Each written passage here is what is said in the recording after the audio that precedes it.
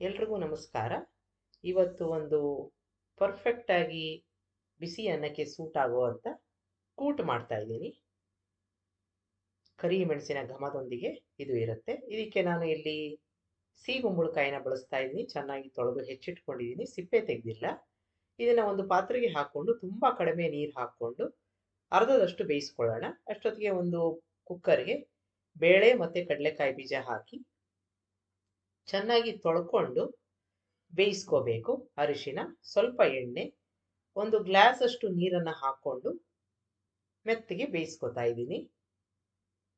ಈಗ ಒಂದು ಬಾಣಲೆಗೆ ಉದ್ದಿನಬೇಳೆ, ಕಡಲೆಬೇಳೆ, ಕೊತ್ತಂಬರಿ ಬೀಜ, ಮೆಂತ್ಯ, ಕರಿಮೆಣಸು, ಕರಿಬೇವಿನ ಸೊಪ್ಪು, ಇಷ್ಟನ್ನು ಹಾಕ್ಕೊಂಡು ಹುರ್ಕೋತಾ ಇದ್ದೀನಿ. ಇಲ್ಲಿ ಸುಮಾರು ಒಂದು ಅರ್ಧ ಸ್ಪೂನಷ್ಟು ಕರಿಮೆಣಸನ್ನ ಹಾಕ್ಕೊಂಡಿದ್ದೀನಿ ನಿಮಗೆ ಬೇಡ ಅಂತಂದ್ರೆ ಕಡಿಮೆ ಅಥವಾ ಜಾಸ್ತಿ ಬೇಕಾದ್ರೆ ಹಾಕ್ಕೋಬೋದು. ಆಗಿದೆ ಈಗ, ಒಂದು ತಟ್ಟೆಗೆ ಹಾಕ್ಕೋತಾ ಇದ್ದೀನಿ. ಈಗ ಮತ್ತೆ ಬಾಣಲೆಗೆ ಕೆಲವು ಹನಿ ಎಣ್ಣೆನ ಹಾಕ್ಕೊಂಡು, ಬ್ಯಾಡಗಿ ಮೆಣಸಿನಕಾಯಿನ ಹುರ್ಕೊಂಡು ತೆಗೆದಿಟ್ಕೋತಾ ಇದ್ದೀನಿ. ಈಗ ಹುರಿದಿರೋದು ತಣ್ಣಗಾಗಿದೆ, ಮಿಕ್ಸಿ ಜಾರ್ಗೆ ಹಾಕ್ಕೊಳ್ಳೋಣ. ಜೊತೆಗೆ ಕಾಯಿ ತುರಿ ಸ್ವಲ್ಪ ನೀರನ್ನು ಹಾಕ್ಕೊಂಡು ರುಬ್ಕೋತಾ ಇದ್ದೀನಿ.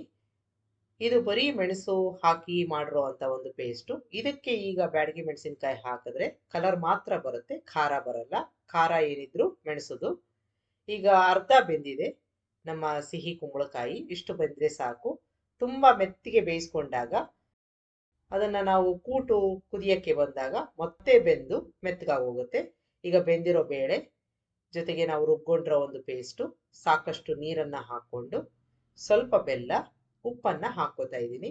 ಎಲ್ಲವನ್ನು ಚೆನ್ನಾಗಿ ಮಿಕ್ಸ್ ಮಾಡಿಕೊಂಡು ಕುದಿಸ್ಕೋಬೇಕು. ನಾರ್ಮಲ್ ಆಗಿ ಕೂಟಿಗೆ ಯಾವುದೇ ಹುಳಿ ಪದಾರ್ಥನ ಹಾಕಲ್ಲ. ನಿಮಗೆ ಬೇಕು ಅಂತ ಅನ್ಸಿದ್ರೆ ಹುಣಸೆ ಹಣ್ಣು ಇಲ್ಲ ಟೊಮೆಟೊನ ಹಾಕ್ಕೋಬೋದು. ಹೆಚ್ಚಾಗಿ ಇದರಲ್ಲಿ ಕರಿ ಮೆಣಸಿನ ಪರಿಮಳ ಇರುತ್ತೆ.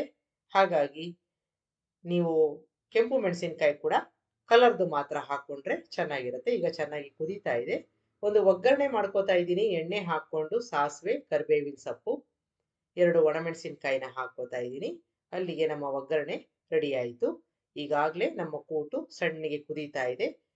ಸ್ವಲ್ಪ ಗಟ್ಟಿಯಾಗಿ ಇದನ್ನ ಮಾಡ್ಕೋಬೇಕು. ತುಂಬಾ ನೀರಾಗಿ ಅಲ್ಲ. ನಿಮ್ಗೆ ಅಕಸ್ಮಾತ್ ಆಗಿ ಇದು ಇಷ್ಟ ಆಗಲ್ಲ ಅಂತಂದ್ರೆ ಸ್ವಲ್ಪ ನೀರನ್ನ ಸೇರಿಸ್ಕೋಬಹುದು ಕನ್ಸಿಸ್ಟೆನ್ಸಿ ಈ ತರ ಇರಬೇಕು.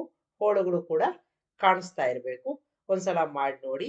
ನಾರ್ಮಲ್ ಆಗಿ ನಿಮ್ಗೆ ದೇವಸ್ಥಾನದಲ್ಲಿ ಅಥವಾ ಮಠಗಳಲ್ಲಿ ಈ ರೀತಿಯಾಗಿ ಮಾಡಿರ್ತಾರೆ. ತುಂಬಾ ರುಚಿಯಾಗಿರುತ್ತೆ. ಬಿಸಿ ಅನ್ನಕ್ಕೆ ಒಳ್ಳೆ ಕಾಂಬಿನೇಷನ್ ನಿಮ್ಗೆ ರೆಸಿಪಿ ಇಷ್ಟ ಆದಲ್ಲಿ ಲೈಕ್ ಮಾಡಿ. ನಮಸ್ಕಾರ.